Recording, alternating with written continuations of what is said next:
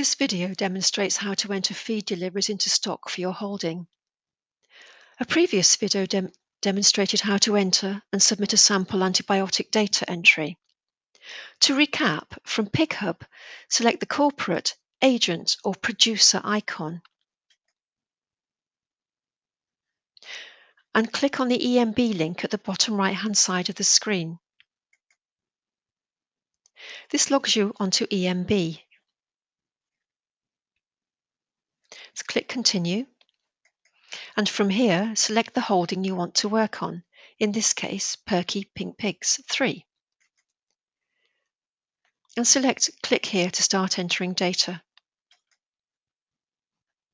Delivering feed into stock will populate the, the feed drop-down lists in simple antibiotic or the medicine book data entry methods.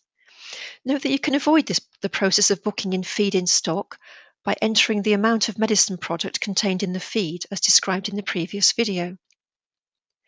It's also worth noting that there is no need to enter stock deliveries when using any of the Excel templates.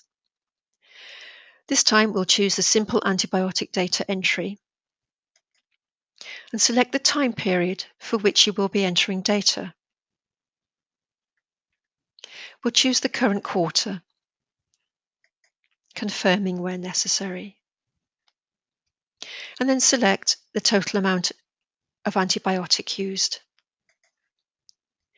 At this point, even though you haven't yet entered any data, EMB has created a draft submission for you. You can now choose either to add the antibiotic product or the feed in stock. Currently, there is nothing listed in the feed in stock drop-down list. So if you want to enter feed stock, you will need to enter a feed delivery. And to start this off, cancel, and return to the dashboard. And now select My Feedstock on the right-hand side of the page. Select Add a new feed product. And in the pop-up window, enter the name of the feedstock. We will enter Lincomix 44 1 kilogram per ton. Make sure this description accurately identifies the premix and, where necessary, the concentration. Now choose the medicine product from the drop-down list. Click, click on the drop-down list arrow and begin to type in Lincocin.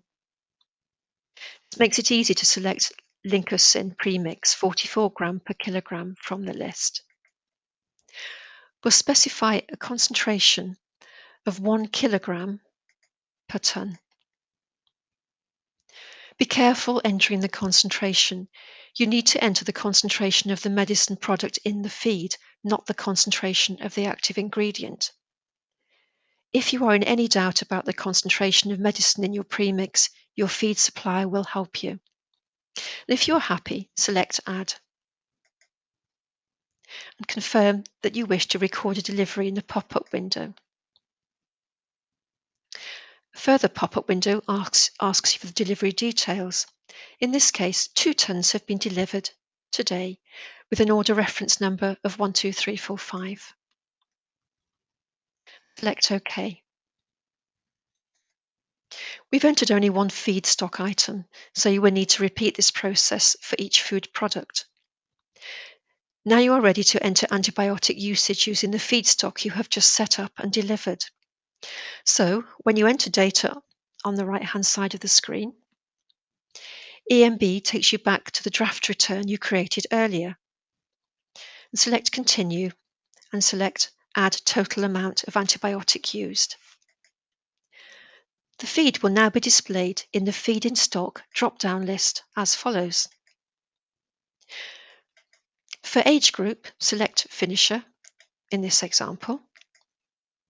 Choose the appropriate unit of measure, in this case tonnes, and enter the total units used, in this case 1. In this instance, we will choose scour as the primary reason for treatment. If I click S, it will take me straight to it. And select Save. Now carry on in this way until all antibiotic usage data has been entered, at which point you can submit the antibiotic usage return. And just as in the previous video, we will select the holding category, in this case finisher. Number of sows and boars is zero. number of finishers that have left the holding is 100. The number of weaners that have been moved off the holding is zero. If you have any further questions, the contact details can be found on Contact AHDB Pork. Otherwise, submit the return. You will then receive a confirmation message. Thank you for listening.